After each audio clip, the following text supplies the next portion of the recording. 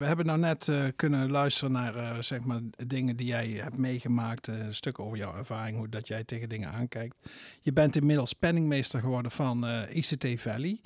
Um, wat houdt dat dan in, behalve dat je voor de kas zorgt?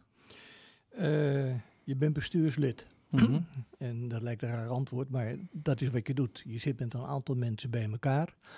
Ik mag er naar de cijfers kijken, maar er komt van alles langs wat de ondernemers hier in de regio wensen van elkaar.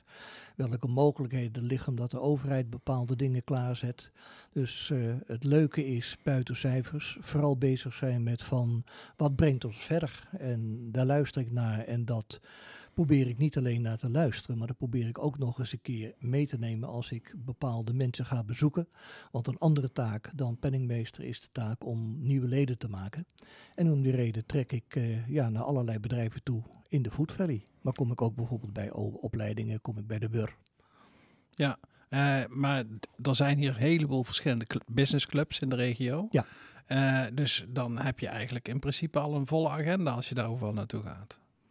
Jawel, ja. Uh, maar kijk, uh, als ik de keuze kan maken door uh, wat wij willen bereiken met ICT, of ik ga naar een lunch van de BOV, hè, de, mm -hmm. de, nieuwe voor de BKV, dan kies ik voor een, een, nieuwe klant gaan maken. Ja. dus ja, netwerken is leuk, maar mijn primaire taak is nieuwe partijen op de hoogte stellen wat de ICT Valley allemaal van mag. Hoe lang bestaat ICT Valley al? Uh, ik denk dat we eerder ons vijfde jaar uh, hebben. Hm. Uh, ik heb daar nooit naar gekeken. Ik weet één ding. De eerste drie jaar die altijd heel cruciaal zijn, zijn wij voorbij. Ja. En we bestaan nog steeds. Momenteel ja. met 100 leden. Kijk, en er is vorig jaar ook een mooie awardshow geweest. Ja. dat is natuurlijk ook een hele mooie boost om de kwaliteit beter te etaleren van wat we hier in de regio kunnen doen. Klopt. Um, zijn er, zeg maar belangrijke dingen die het afgelopen jaar uh, goed uh, naar voren zijn gekomen vanuit de ICT Valley? Ja, absoluut. Uh, er zijn drie dingen die ik zou willen noemen. Mm -hmm. Jij hebt het over de ICT Award die voor de hele Food Valley is geweest. Hè? Ja. Da daardoor zijn ook plaatsen buiten Veenendaal of buiten de, de Zuid-Veluwe die zijn op het podium verschenen. Uitstekend initiatief. Uh, we hebben een initiatief gehad en dat heet Grow IT. Ja. We zijn gaan kijken naar mensen die op een of andere manier iets hadden met ICT. Dat was of als wens om daarin toe te treden, of ze hadden er al in gewerkt. En die mensen die hebben wij gevraagd te komen en die mensen hebben wij het aanbod gedaan.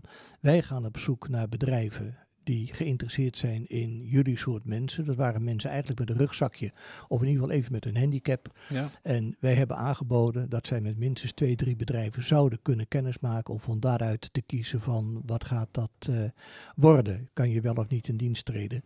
Ik ken ondertussen de getallen, daar ben ik ook heel trots op.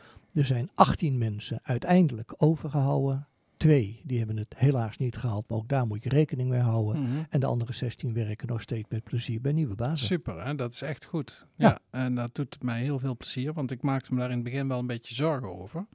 Dat er wel werk is en dat er ook mensen zijn, maar juist die koppeling voor mensen die een, een tijdje eruit zijn geweest of een rugzak hebben, soms heel lastig is. Nou, en dan denk ik dat we opnieuw kunnen zeggen dat we in een hele sterke, mooie regio wonen. Ja. Er zijn er zat, die hebben daar begrip voor en die zeggen ik heb niet alleen maar toptalenten nodig. Tuurlijk graag wil je die ook aan boord hebben. Mm -hmm. Maar gewoon goede mensen uit het juiste hout gesneden. Dat is wel wat wij hebben beloofd. Hè? Dus die mensen die kwamen, die hebben wij allemaal getest om te kijken of ze voldoende fit waren om door te gaan. We gaan uh, luisteren naar het volgende nummer. Hier komt Dave Brubeck Quartet met Take 5.